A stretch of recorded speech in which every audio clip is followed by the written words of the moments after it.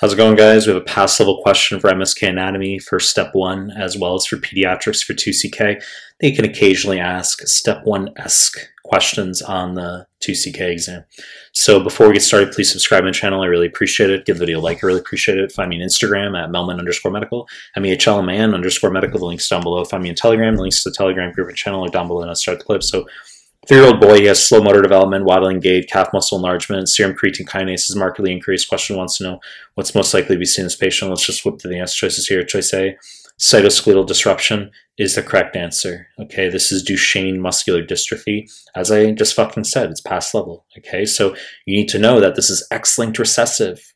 All right, and it's almost always a frame shift mutation in the dystrophin gene, which that gene codes for alpha beta dystroglycan which is a protein that links the cytoskeleton of the muscle cell to the extracellular matrix. So sometimes they can give you a very similar question and then ask you for the organelle that's fucked up. And they'll just want cytoskeleton. Okay, that's what they want as the answer here. Very high yield, all right? So X-linked recessive, as I said. Becker, of course, being a less severe form that can present uh, in, as a teenager or a young adult, but and that's not going to be a frame shift, but this is pass level. You need to know Duchenne and Becker. I've seen enough students uh, miss this type of question where I really just have to straight up cover it, even though for some of you watching this clip, you think this is too easy, okay? So cytoskeletal disruption, very important here. I'm just going to whip through the other answer choices. The branching enzyme deficiency, wrong answer. This would refer to Cori syndrome, which is glycogen storage disease type 3. Okay, so alpha 1 6 glucosidase deficiency. It's not high yield, all right, pretty much nonsense diagnosis. It's a less severe form of von Gierke. Von Gierke is high yield. I mean, that's type 1, which would be choice C here, also fucking wrong.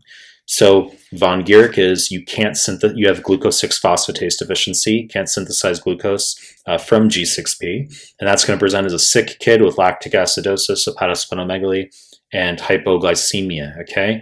Choice D, failure of mannose phosphorylation, wrong answer. This would refer to I-cell disease, which is exceedingly high yield for biochemistry. Not my fucking opinion as to why this is high yield. It's because I've gone through all the NBME content and I-cell disease shows up repeatedly. Okay, so it's a failure at the Golgi to phosphorylate the sixth position of mannose, can't synthesize uh, mannose 6 phosphate, which is a molecule that's required to send lysosomal enzymes that are located at the Golgi to the lysosomes. So it's technically a lysosomal storage disease, but the location of the enzyme problem is at the Golgi. So those enzymes can't go from the Golgi to the lysosomes. They end up in the cytosol slash outside the cell. That's what they want you to know for I-cell disease. It's usually a kid who has joint contractures, can have gargoyle-like faces as well. Wrong fucking answer. C, swelling of rough endoplasmic reticulum, nonsense, refers to zero. Albeit, I have seen basic type of questions where they will just ask you the biochemistry straight up and say there's a protein that can't make it to the Golgi apparatus. Okay, it, it doesn't have the proper tagging, and they'll say what would be seen in the cell under electron microscopy, and the answer could be a swelling of the rough endoplasmic reticulum. Sounds very basic, but you should be aware that proteins that are synthesized at the rough uh, the rough ER, the RER, uh, normally go to the Golgi next. Okay, so nonsense answer choice. But the point of consolidation for this clip is Duchenne and Becker muscular dystrophies are X-linked recessive. Okay, so mutation in the dystrophin gene, and USMLE wants cytoskeleton as the answer. You know the deal. I'm make more content. If you like my stuff, subscribe my channel and I appreciate your time. That's it.